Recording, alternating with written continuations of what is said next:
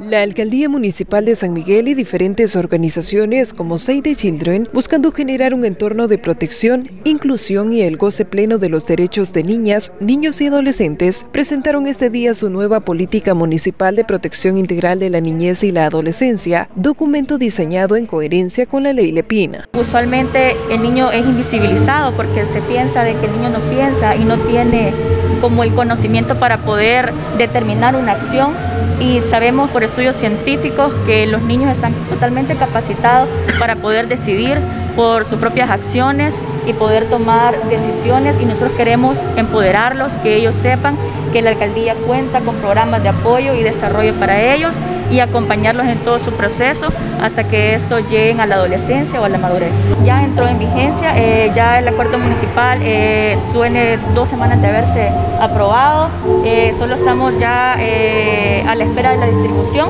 de, con desarrollo comunal para todas las comunidades. Informaron que este es un esfuerzo que parte de la realidad que viven muchas de las niñas, niños y adolescentes en el municipio, evitar realidades como el adultocentrismo, la violencia de género, desintegración familiar, desplazamiento forzado, entre otros, es uno de los objetivos de estas nuevas políticas. La elaboración de leyes y políticas públicas municipales, planes de acción, la inversión de recursos técnicos y financieros, para poder echar adelante todas las eh, intervenciones que están contenidas en el plan de acción y regulados en una normativa municipal.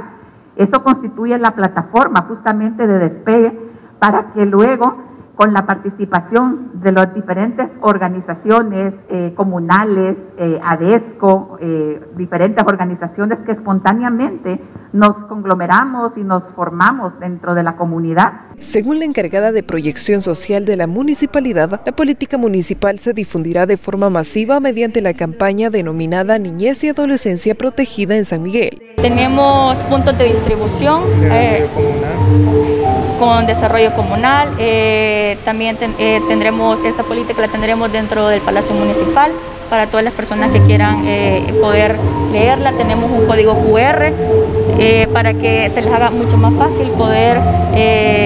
tratarla y entenderla. No necesariamente tengan que tener un libro, sino que desde la comodidad de su teléfono puedan observarla y, y concientizarla. Esta política municipal fue creada con el apoyo técnico del ACNUR, Agencia de la ONU para los Refugiados, Save the Children y el apoyo financiero de la Dirección General de Protección Civil y Operaciones de Ayuda Humanitaria Europeas, en el marco del proyecto Entorno Institucional, Comunitario y Familiar Fortalecido para la Atención de la Niñez y Adolescencia Deportada con Necesidades de Protección, Desplazadas Internas, Víctimas de Violencia y sus familias.